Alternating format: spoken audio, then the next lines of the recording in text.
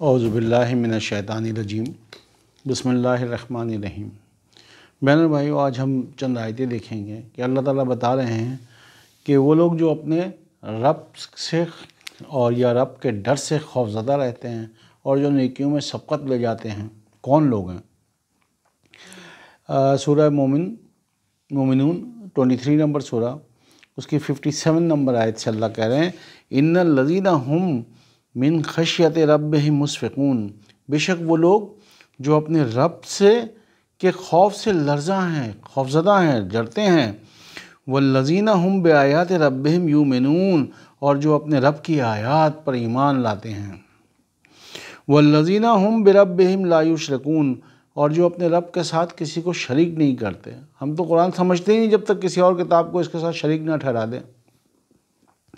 व लजीना यूतून मा आतो व कलूब हम वजरतन अन्नहुम इला रब्बिहिम राजिऊन।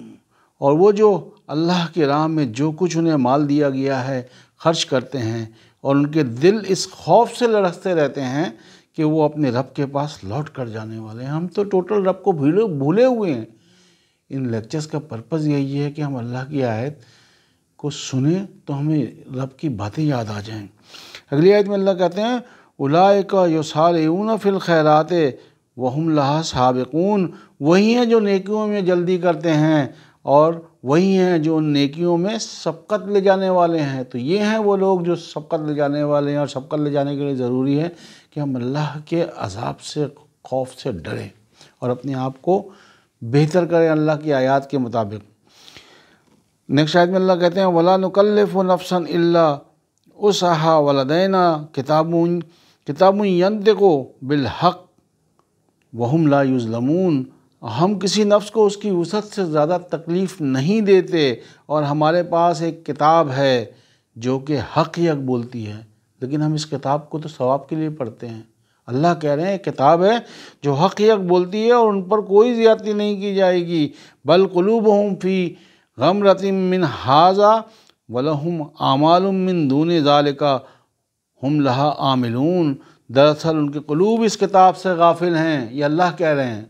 बल्कि उनके कलूब इस किताब से गाफिल हैं और उनके आमाल बद के अलावा और कुछ आमाल भी हैं जो वो करने, करते हैं या करने वाले हैं। हती इज़ा अखजना मुतरफ़ी मुतरफ़ीम बिल अज़ाब इज़ा हम यजरून यज अरून यहाँ तक कि जब वो उनके मालदारों को अजाब में गिरफ्त गिरफ्त, गिरफ़्तार करता है तो वो वावेला मचाते हैं।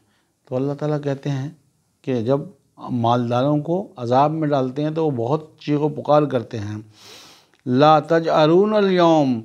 तो अल्लाह कहते हैं, आज के, अल्लाह कहेंगे, आज के दिन वावेला ना करो। इन नकुम मिन्ना लातुन सरून तुम्हें हमारी तरफ़ से कोई मदद नहीं की जाएगी। नेक्स्ट आयत में अल्लाह कहते हैं, कद कानत आयाती, यकीनन मेरी आयात तुम पर पड़ी गई। इसी के लिए कहते हैं कि एक दूसरे को साथ शेयर करें। अल्लाह कहते हैं, कद कानत आयाती, क्या यकीनन मेरी आयात तुम पर पड़ी गई?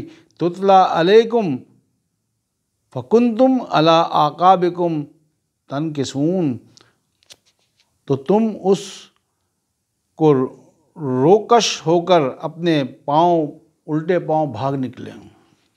या इसको ऐसे कर लें, क्या तुम पर मेरी आयत नहीं पढ़ी गई और तुम उल्टे पाँव भाग निकले? हम तो देखना ही गवारा नहीं करते, सुनना ही गवारा नहीं करते, हम सिर्फ़ सवाब के लिए पढ़ते हैं। अगली आयत में अल्लाह कहते हैं, मुस्तकबरीन, और उन आयात से तकबर करने लगते हैं। बेसामिरन तहजरून, और फजूल बातें करने लगते हैं कि ये आप क्या बता रहे हैं? तो अल्लाह ताला हमें तौफीक दे कि हम अल्लाह की किताब को सवाब के लिए ना पढ़ें बल्कि उसको समझ के पढ़ें और उसको अमल करें।